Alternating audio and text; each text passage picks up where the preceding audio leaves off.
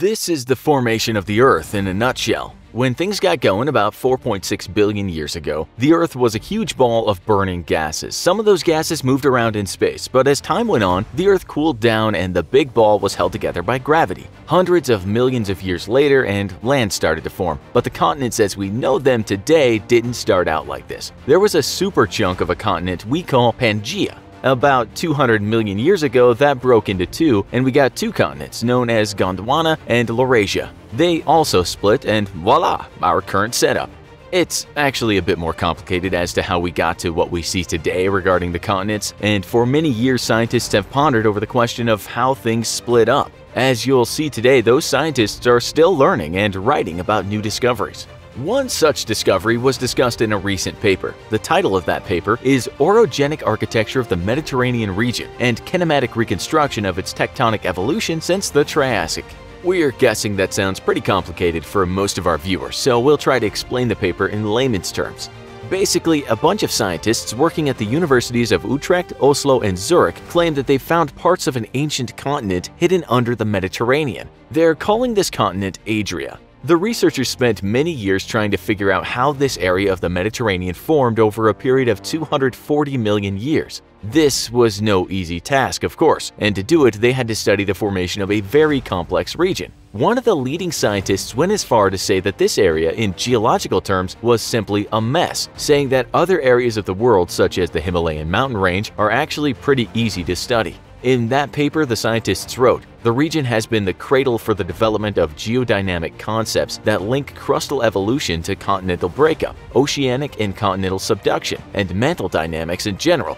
Again, that's probably difficult to understand, so how did they do it? Well, they studied something called paleomagnetic sites, and they looked at a massive 2,300 of them.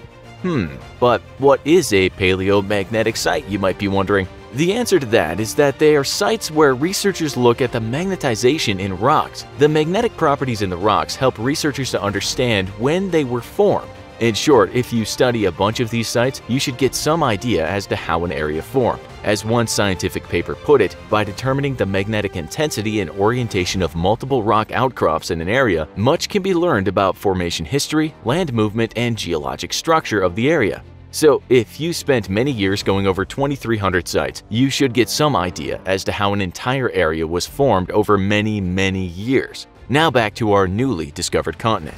You remember that we talked about the supercontinent known as Gondwana? Well, bits split off of that giant hunk of rock, and one of those bits the researchers now call Greater Adria. It was about the size of today's Greenland. Most of this place was covered in water, with the scientists saying that there were tropical seas with sediments in the form of coral reefs. They said some of these sediments can be found today in the countries of Greece and Turkey, but also in mountain belts such as the Apennines and the Alps.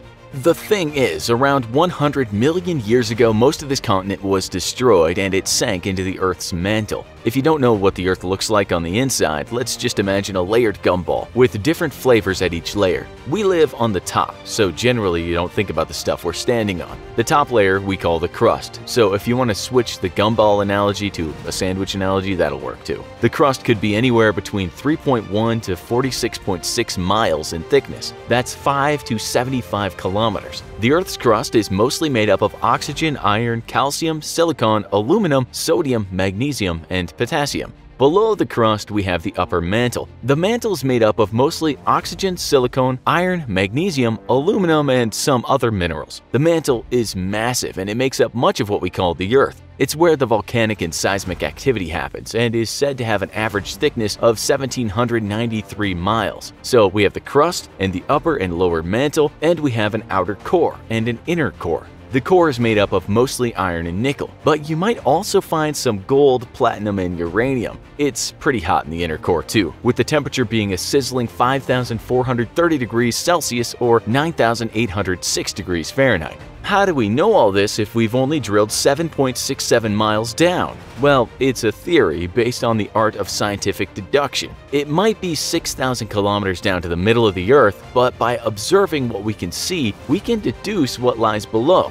Back to Adria. Around 100 million years ago, the continent was lost, but it left some parts behind as a kind of souvenir, and these souvenirs helped create what we now see as mountains.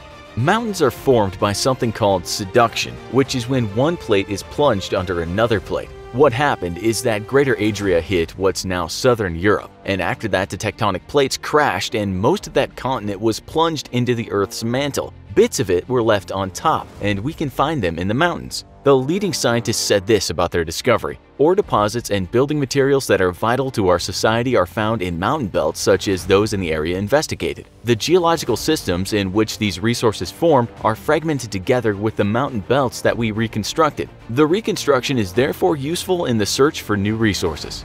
He's basically saying now they know better what lies there and underneath parts of Europe is in fact a lost continent. He also said that the researchers now have a clear understanding of how the Earth will look in the future. But don't worry, things aren't going to suddenly change during your lifetime. There are theories about the continents moving and forming another supercontinent, but we're talking in millions of years.